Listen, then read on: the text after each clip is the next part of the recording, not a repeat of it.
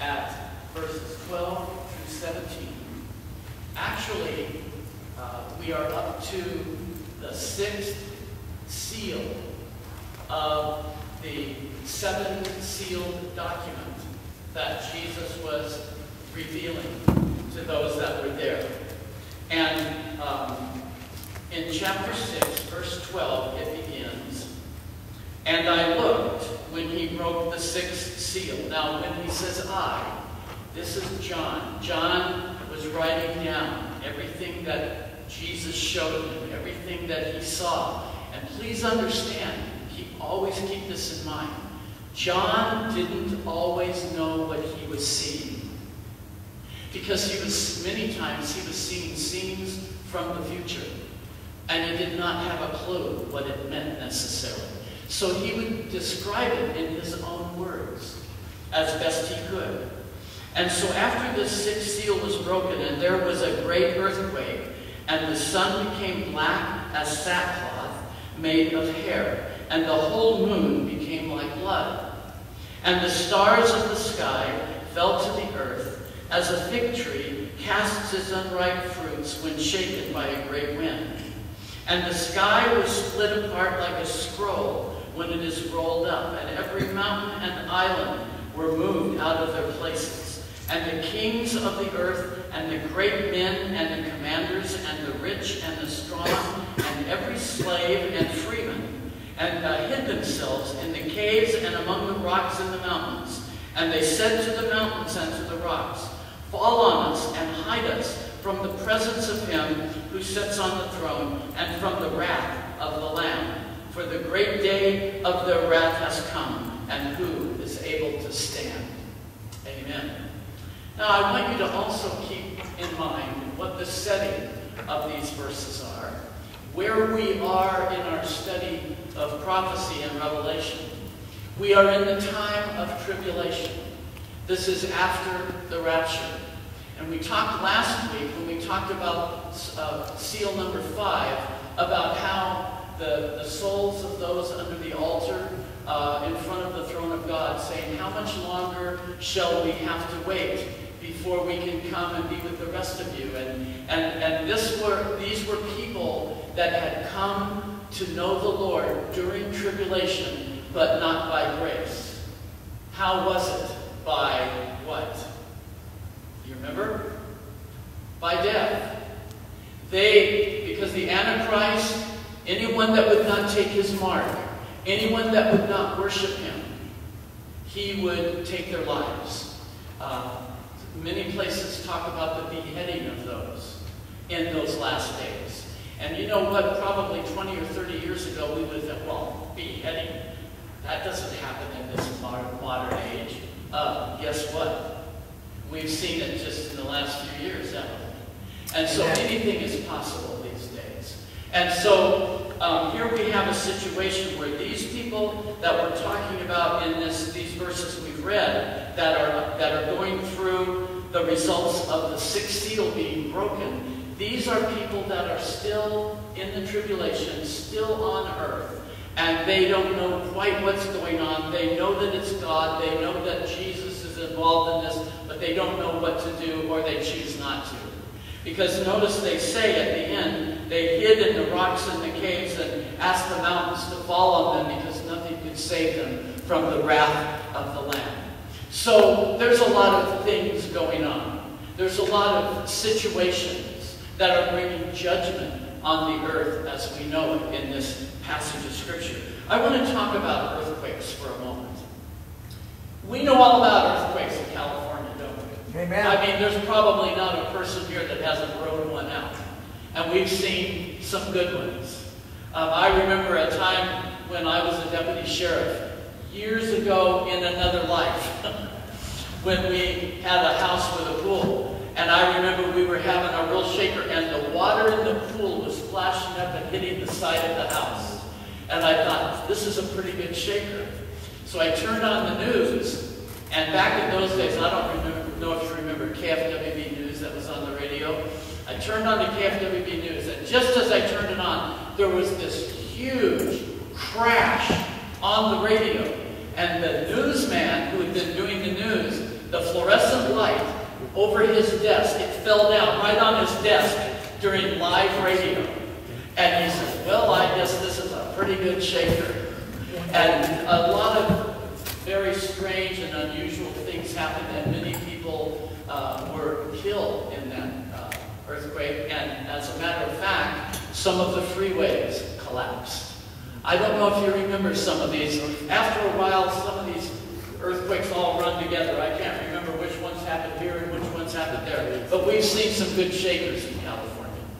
I want to, you know, you, you read about this and you think about an earthquake that can affect the whole earth. Let me tell you about an earthquake that happened. Well, actually, for one thing, we had one recently. Do you remember about four or five years ago, they had that huge earthquake in Japan? Yeah. We're still feeling the, the effects of it today. They're still having stuff wash up on the beaches that came over from Japan. Remember their nuclear stations uh, had to be shut down. It was a horrible time. They had uh, tsunamis. They had tidal waves. They had floods. It was a horrible time, and many people.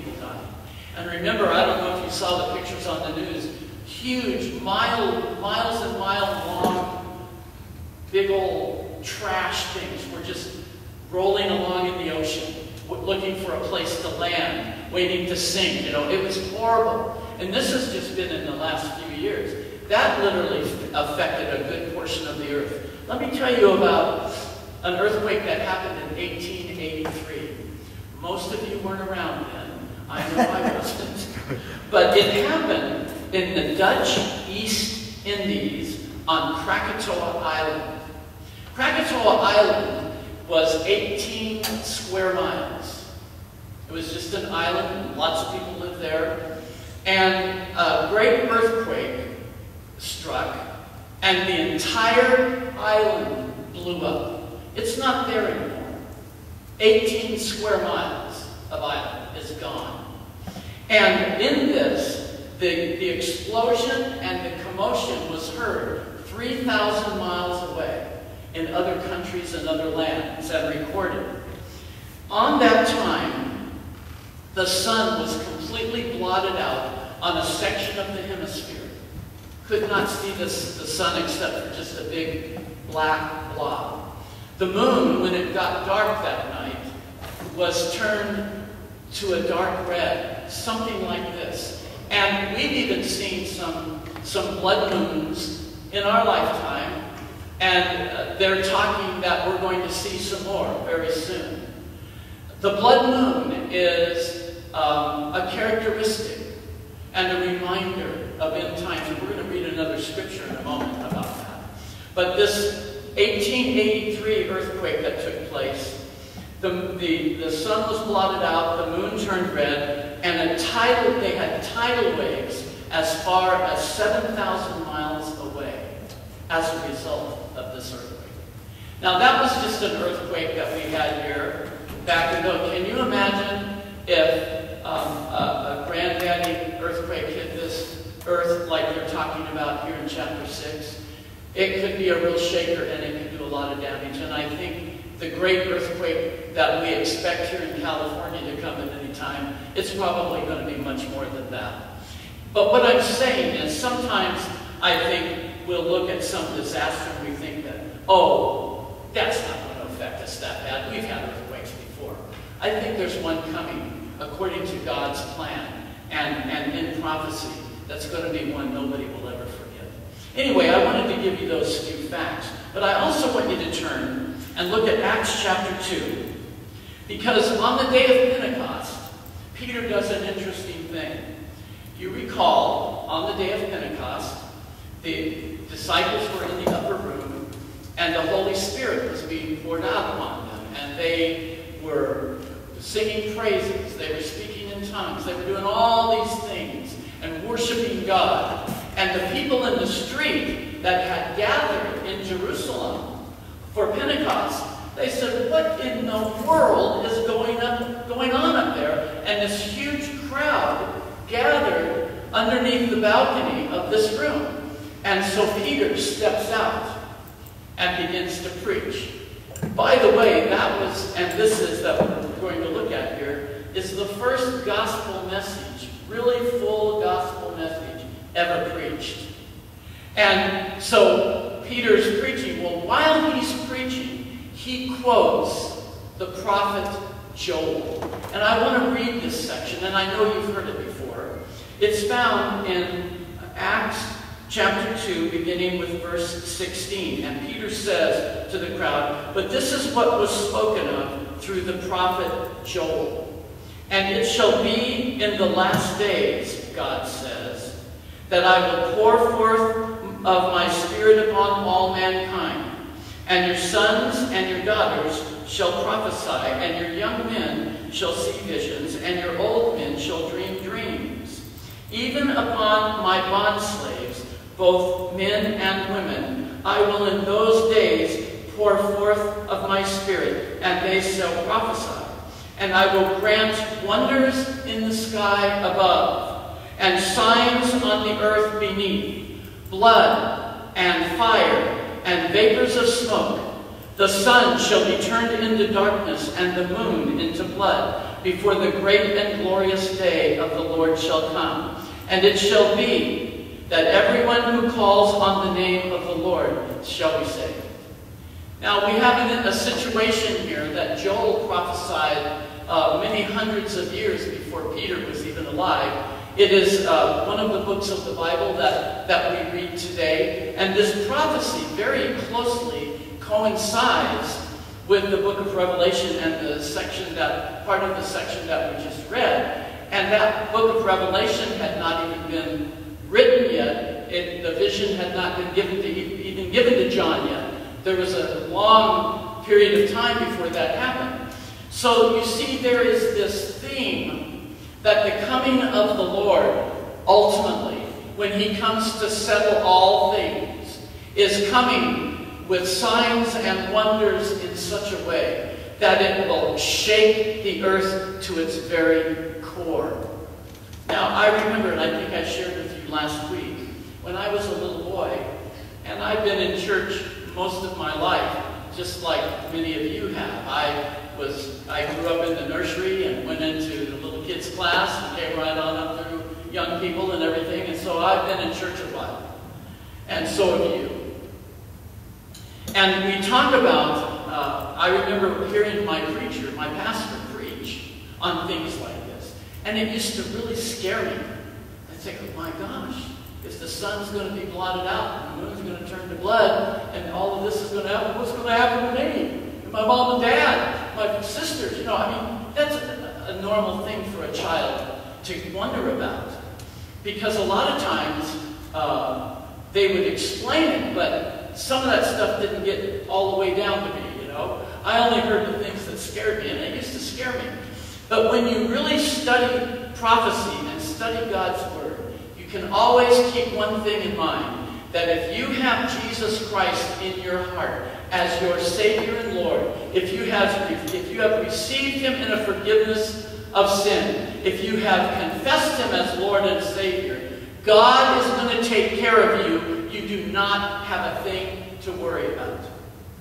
Can somebody say amen? Amen. Amen. Because that's true. God says, I will never leave you nor forsake you. I will be with you through all of the good all of the hard times. I will be there. And you know what? I think probably I can now say with a, a strong amount of confidence as I look back on my life, and I know that you can too, where we have seen all of it, good, bad, with all the wrinkles, with all the pimples, with all the evil and wickedness. And we can look back and see God has always been with us through it all. I remember when my dad died. It hurt me and struck me so badly. And yet in my heart, I knew the truth. I knew where he was. And when my mother died here a few months ago, same thing. It struck me so hard, but I knew where she was. And see, we have a confidence as believers. Amen. Amen. We have a confidence because we know in whom we have believed and are persuaded that He is able to deliver us under any circumstances and that He will see us through thick and thin. I can remember, just like all of us can, I remember when I was a little boy, we were so poor, my only pet was a tumbleweed. I mean, that was a joke, folks. Got it.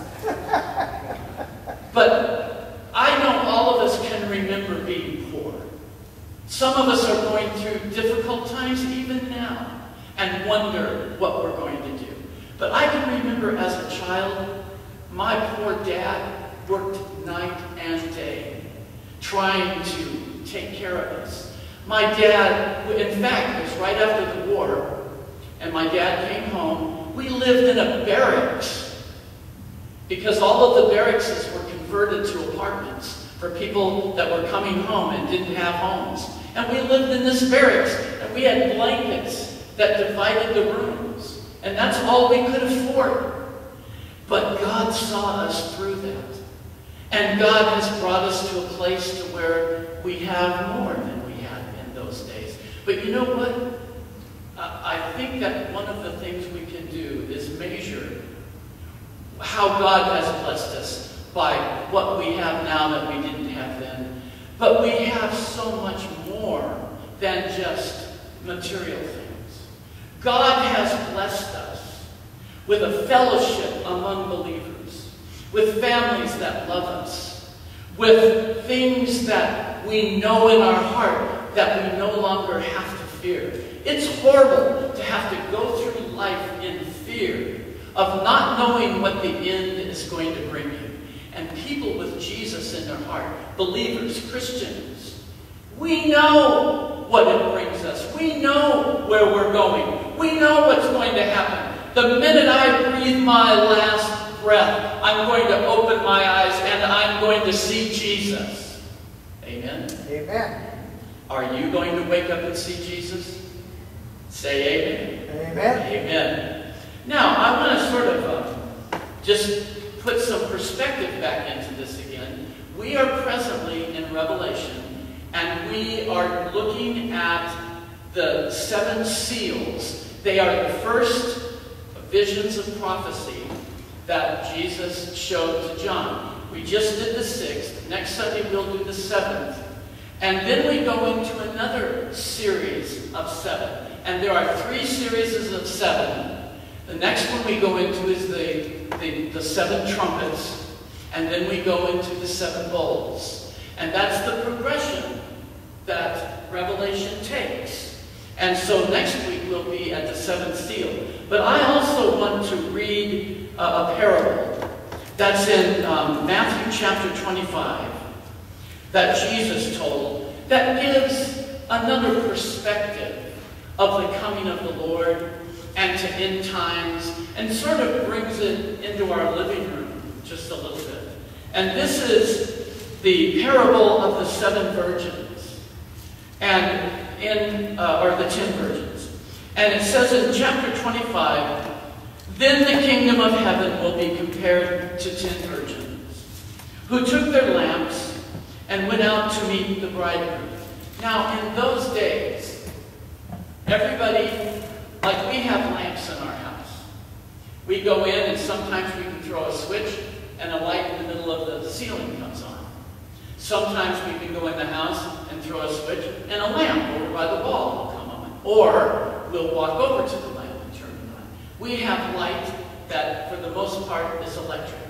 We have fluorescent lights, we have these lights, we have all kinds of lights. But in those days, all they had for light were little oil lamps. And they weren't very big at all. They were quite small, and they were made of clay.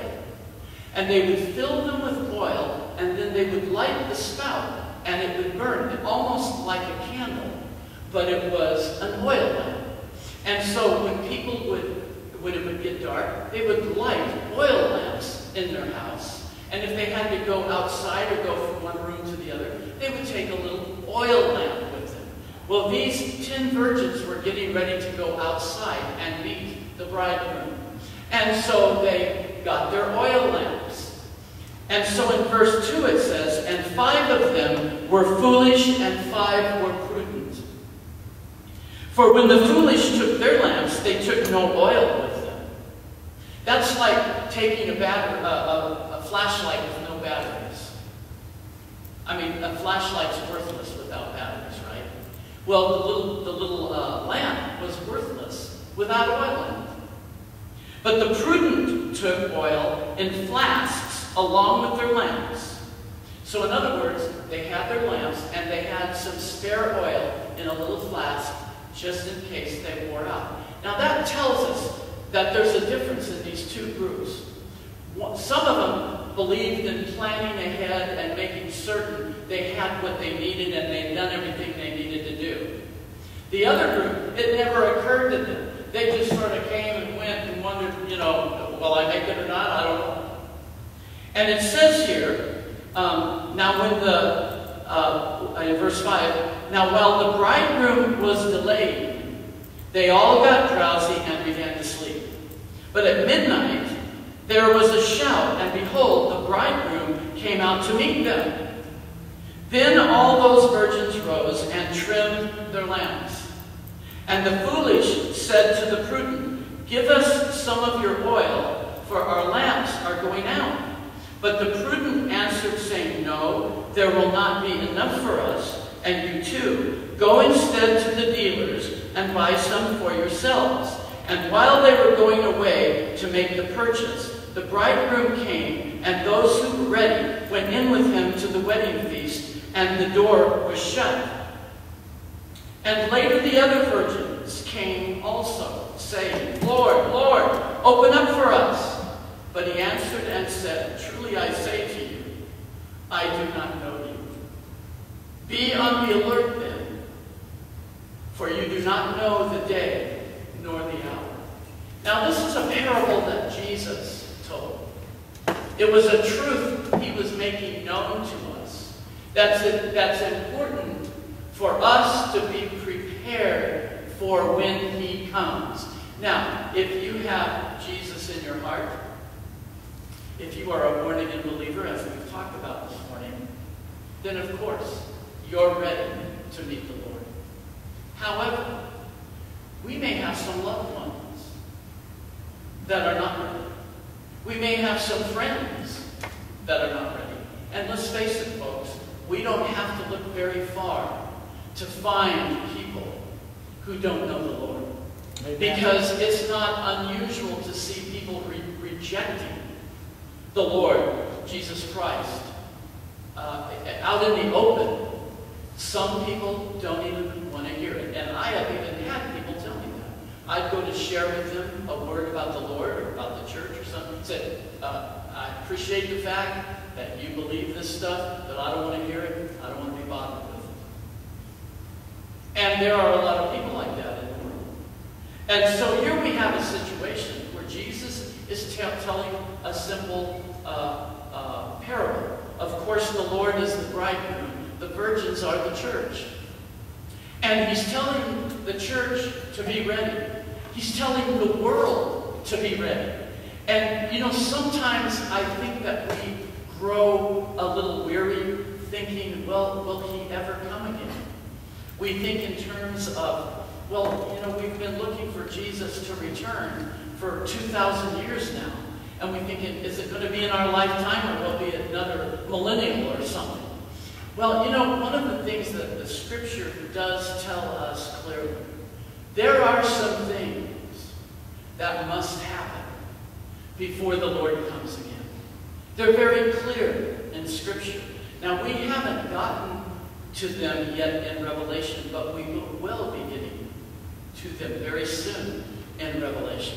But one of the things that we are going to see, we've already seen, probably one of the greatest miracles in history has already happened when the Jews returned to their homeland in Israel. Amen. That was amazing. That's never, ever happened. And that was the fulfillment of prophecy.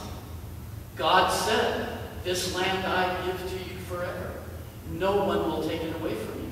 And they returned to their land. That's why they also retook Jerusalem. The 1967 war. There's things happening over in Israel that affect and are results of what God said was going to happen. There's going to have to be something happen with the temple. There's going to have to be something happen with the Ark of the Covenant. There's going to have to be something happen with the preparation for sacrifice.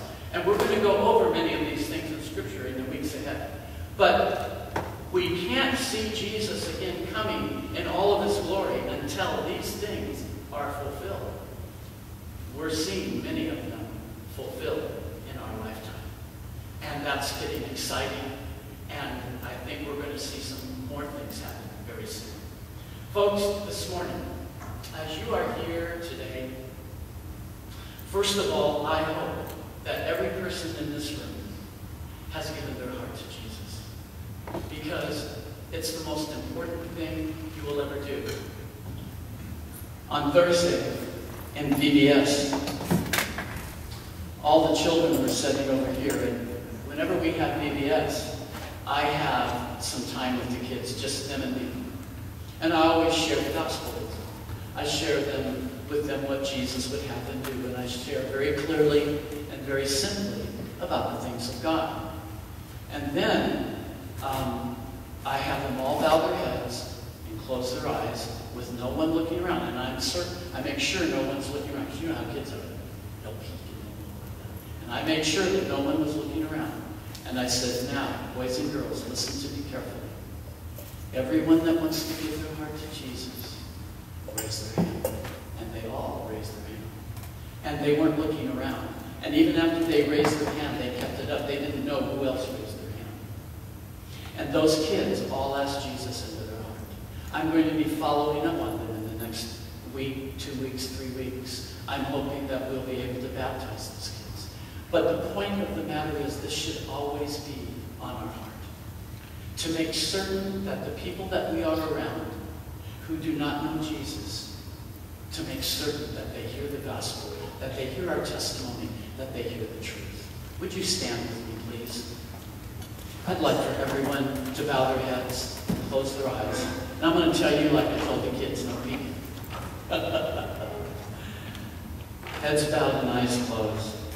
And if you're here this morning and you have never given your heart to Jesus, you've never asked Jesus into your heart and asked him to forgive you of your sins, you've never done that, would you please slip your hand up so I can just know who you are, so I can